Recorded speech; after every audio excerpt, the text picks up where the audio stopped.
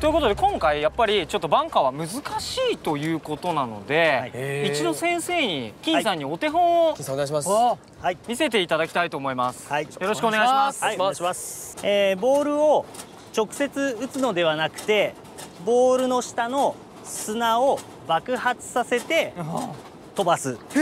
それがエクスプロージョンショットって言います。エクセプローションショット